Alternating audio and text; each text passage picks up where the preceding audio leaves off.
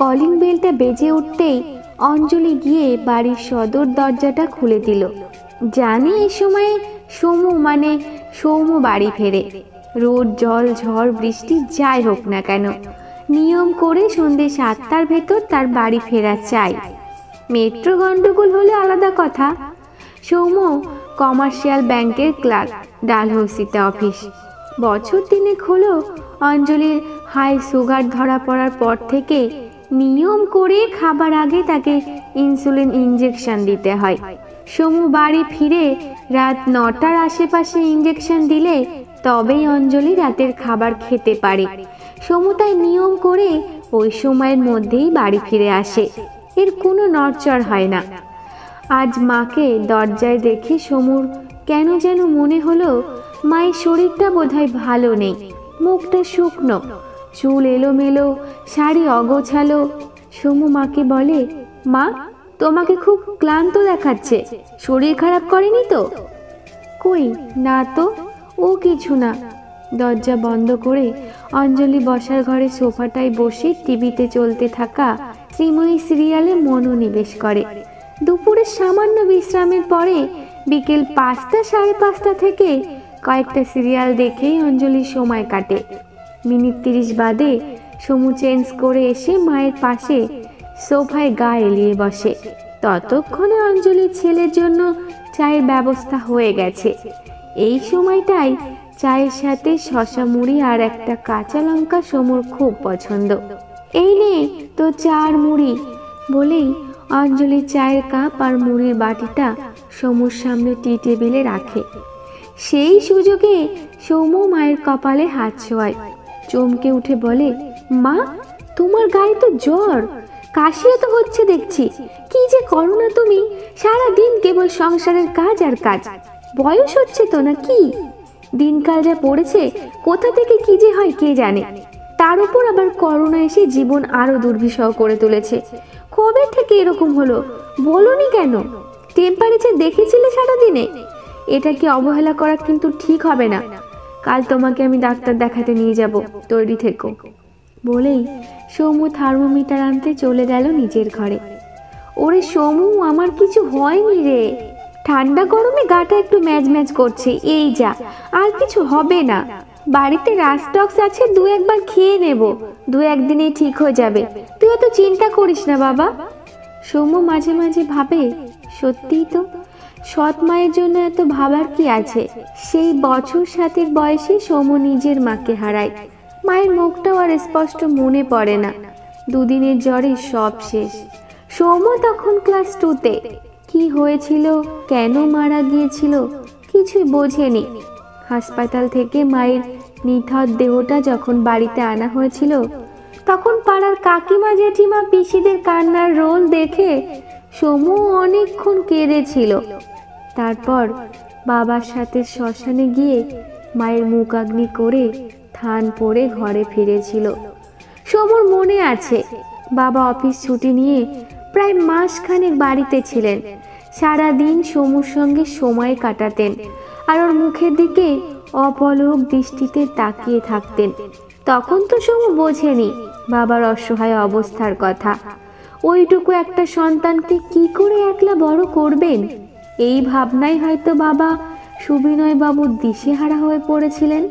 তাই বছর ঘুরতে না ঘুরতেই বাবার রেজিস্ট্রি ম্যারেজ সৌমর নতুন মা হয়ে অঞ্জলি এই বাড়িতে প্রবেশ। হয়তো ছেলের মুখের দিকে তাকিয়েই বাবার ওই সিদ্ধান্ত। কথা ছিল, কোনোভাবেই যেন সমুর সাথে অবিচার না হয়। কিন্তু সেই সিদ্ধান্তের জেরেই সমুর জীবন উলট পালট হয়ে গেল। বিধাতার লিখন খণ্ডাই কার সাধ্য। বাবা স্নেহ ও মমতায় প্রথম প্রথম সৌম্য মায়ের অভাব টের পায়নি। বয়সটা এতটাই কম ছিল যে মায়ের অভাব বোধটা বুঝতে কয়েকটা মাস কেটে গেল। সত্যি সত্যি যখন মায়ের অভাব টের পেল, তখন খড়কুটোর মতো অঞ্জলিকে আঁকড়ে ধরার চেষ্টা করেছিল। কিন্তু অঞ্জলির দিক থেকে কোনো সাড়া না থাকায় সৌম্য শিশু মনে ধীরে ধীরে অভিমানের পাহাড় জমতে থাকে। অঞ্জলির বরফ শীতার ব্যবহার সমুর খারাপ লাগতো, কিন্তু গা সাওয়া হয়ে গিয়েছিল। তবু কেন জানে না কখন যেন অঞ্জলিকে মা হিসেবে মেনে নিতে অভ্যস্ত হয়ে পড়েছিল। কিন্তু গোল বাঁধল অর্কের জন্মের পর। অর্ক সৌমের সৎমা অঞ্জলির ছেলে, ওর ভাই। রাতারাতি অঞ্জলি অন্য মানুষে রূপান্তরিত হয়ে গেল। চলতে, ফিরতে, উঠতে, বসতে সমুর প্রতি বিষে টাকার করতে লাগল। কিন্তু সমু সবচেয়ে অবাক ও মর্মাহত হয়েছিল ওর বাবার পরিবর্তন দেখে।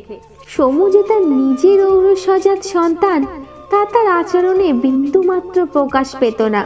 দ্বিতীয় বিবাহে পুরুষ মানুষ কি এতটাই নপুংসক হয়ে যেতে পারে? ছোটবেলা থেকে মেধাবী সমু পাড়ার স্কুল থেকে ভালো ফল করে উচ্চ মাধ্যমিক পাশ করে। এরপর কি পড়তে চাই জানতে চাইলে বাবাকে বলে, বাবা, আমি ইঞ্জিনিয়ারিং পড়তে চাই। সুযোগও পেয়েছি।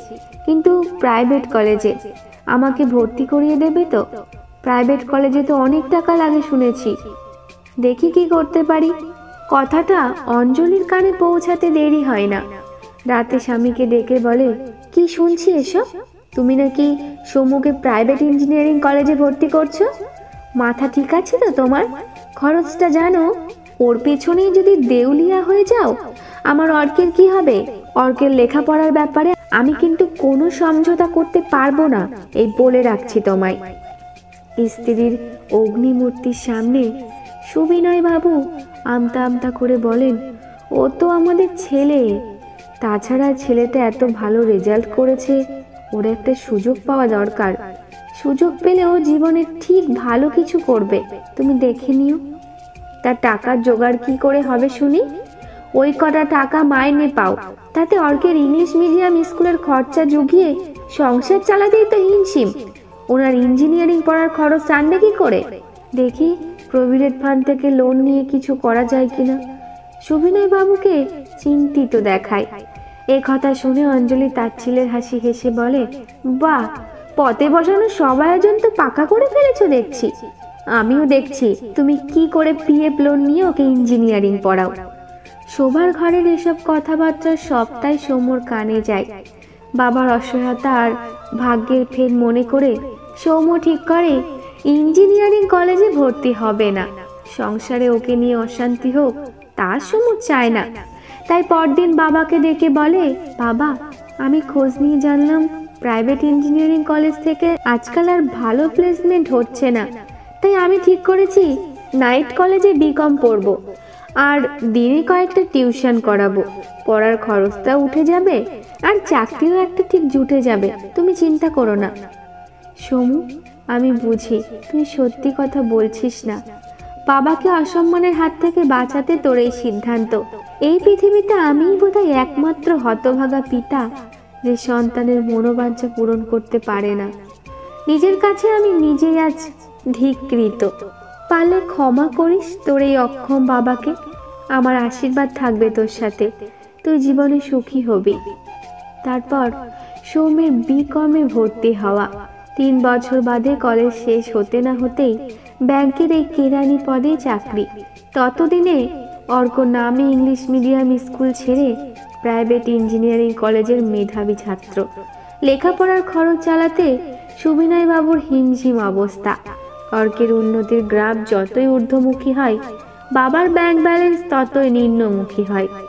বছর কয়েক বাদে বিকেট, তারপর এমবিএ করে অর্ক নামী কর্পোরেট সংস্থার উচ্চপদস্থ কর্মকর্তা। অল্প কিছুদিনের মধ্যেই এক সহকর্মীকে বিয়ে করে। নিজের স্ট্যাটাস বজায় রাখতে নাকতলার আড়াই কামরার বাড়ি আর বাবা মাকে ছেড়ে সোজা সাউথ সিটি কমপ্লেক্সে দু হাজার স্কোয়ার ফিটের নতুন ফ্ল্যাটে সংসার পেতে বসল। এই থাকা বজ্রপাতের মতো সুবিনয় বাবুর সংসারে আশ্রে পড়ল। অঞ্জলি সামলে নিলেও সুবিনয় বাবু সামলাতে পারলেন না। সৌম্য একদিন অফিসে বেরোনোর জন্য তৈরি হচ্ছিল। এমন সময় অঞ্জলির চিৎকার, সৌম্য, একবার তাড়াতাড়ি আয় তো বাবা, তোর বাবার বুকে খুব ব্যথা, হাসপাতালে নিয়ে যেতে হবে এক্ষুনি। সৌম্য ছুটে এসে দেখে তার বাবা যন্ত্রণায় ছটফট করছেন আর মুখে গ্যাজলা উঠছে। বুঝতে পারে নিশ্চয়ই হার্ট অ্যাটাক হয়েছে। তাড়াতাড়ি একটা ট্যাক্সি ডেকে বাবাকে নিয়ে হাসপাতালের উদ্দেশ্যে রওনা হয়। কিন্তু শেষ রক্ষা আর হয় না। হাসপাতালে পৌঁছানোর আগে গাড়িতেই সুবিনয় বাবু মৃত্যুর কোলে ঢলে পড়েন। এক নিমেষে অঞ্জলির জীবনের সব রং বেরং হয়ে যায়। নেমে আসে গুরুতর অন্ধকার। অঞ্জলি কান্নায় ভেঙে পড়ে। বিলাপ করতে থাকে আর নিজের অদৃষ্টকে দোষ দেয়। যে গর্ভের সন্তানের সুখের জন্য মানুষটাকে সারা জীবন ধরে নিংড়ে শুষে নিয়েছে আজ তারই অবিমৃষ্যকারিতার কারণে তাকে প্রাণ দিতে হলো। অঞ্জলি নিজেকে ক্ষমা করতে পারে না। উন্মাদের মতো হাহাকার করে চলে। সৌম্য মাকে সান্ত্বনা দিয়ে কিছুটা হলেও শান্ত করে। তারপর পাড়ার একজন পরিচিত ডাক্তারের মাধ্যমে ডেথ সার্টিফিকেট জোগাড় করে ফেলে। বিপর্যয়ের প্রাথমিক ধাক্কা সামলে নিয়ে অঞ্জলি সৌমুকে বলে সৌমু অর্ককে ফোন করে বল বৌমাকে নিয়ে এক্ষুনি চলে আসতে। বাবা সৎকার করতে যেতে হবে। হ্যাঁ মা, বলি। বলে সমু অর্ককে ফোন করে। কিন্তু ফোনে তাকে ধরা যায় না। বার কয়েক চেষ্টা করে হাল ছেড়ে দিয়ে সমু অর্কের স্ত্রী রিনাকে ফোনে যোগাযোগ করে সব ঘটনা জানায় এবং তাড়াতাড়ি ওদের বাড়ি আসতে অনুরোধ করে। কিন্তু রিনা বলে, দাদা, ও বোধহয় যেতে পারবে না। শুনেছিলাম আমেরিকার কোনো ক্লায়েন্টের সাথে জরুরি মিটিং আছে। আমি দেখি যদি ম্যানেজ করে যেতে পারি, তা কি করে হয়? বাবার সৎকার হবে আর ছেলে একই শহরে থেকেও সেখানে উপস্থিত থাকবে না? তা হয় নাকি? না না, রিনা, তুমি অর্ককে নিয়ে যত তাড়াতাড়ি পারো চলে এসো। তাছাড়া মায়ের জন্যও তো তোমাদের আসা দরকার, তাই না? তোমাদেরকে তো আস্থার বড়ই প্রয়োজন। দাদা, তুমি তো জ্যৈষ্ঠ পুত্র। মুখ আগ্নি তো তোমাকেই করতে হবে, তুমি থাকলেই হবে। তাই তোমাকে বলি, পাড়ার লোকজন আর বন্ধু বান্ধবদের নিয়ে এক্ষুনি বেরিয়ে পড়ো, না হলে শুধু শুধু দেরি হয়ে যাবে। সৌমের মাথাটা কেমন ঝিমঝিম করতে থাকে। শরীরটাও কেমন যেন গুলিয়ে ওঠে। এতদিনের ধ্যান, ধারণা, বিশ্বাস, সংস্কার সব যেন মিথ্যে বলে মনে হয়। যে পিতার হাত ধরে আমরা জীবনের প্রথম পদক্ষেপ নিতে শিখি যিনি সন্তানের মুখে হাসি ফোটাতে, হাসতে হাসতে নিজের সব কিছু বিলিয়ে দিতে পারেন, মৃত্যুর পর তার শেষ যাত্রায় সামিল হওয়ার সময়টুকু সন্তানের নেই। এ কেমন সন্তান? সৌমের জানা নেই।